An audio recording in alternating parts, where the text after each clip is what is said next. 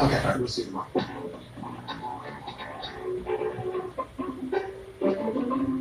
I'm a lawyer.